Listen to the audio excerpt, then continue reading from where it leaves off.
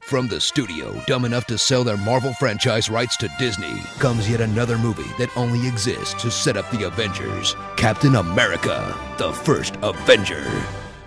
Stand tall for a superhero movie with an important message. It's what's on the inside that counts, except for when it comes to fighting or being respected Look at that. He's making me cry.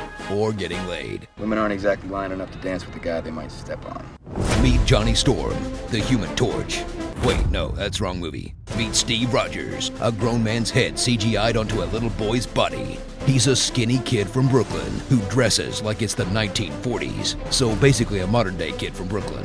Watch as he becomes a superhero in the most American way possible steroids. How'd you feel? Taller. abs. He'll juice up to become Captain America, a soldier with the powers of being a little bit stronger than a regular strong guy, ultimate frisbee, and, uh, super sobriety? I can't get drunk. Forget Tony Stark's ridiculous 3D holograms and return to an analog world full of lever pulling,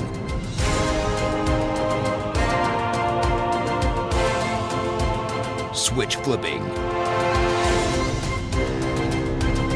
button pressing, dial turning, and people calling out percentages with absolutely no context. That's 10%.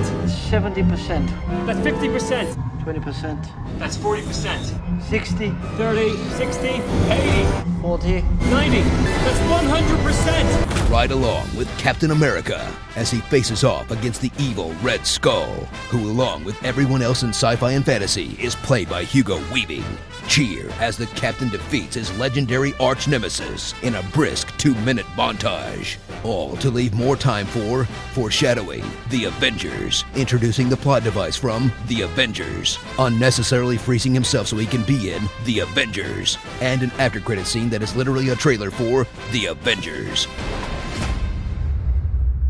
Starring the 90 year old virgin, Tommy Lee Groans, One Face, Two Face, Red Face, U Face, German Capote, Dr. Strangelove, The Winter Spoiler, Agent Love Interest, and Robert Downey Sr., Captain America, The First Avengers trailer.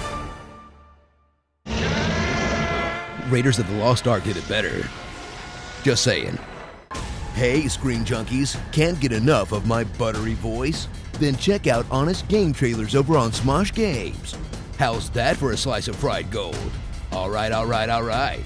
The web is dark and full of spoilers. Remember, Sully, when I promised to kill you last? I lied.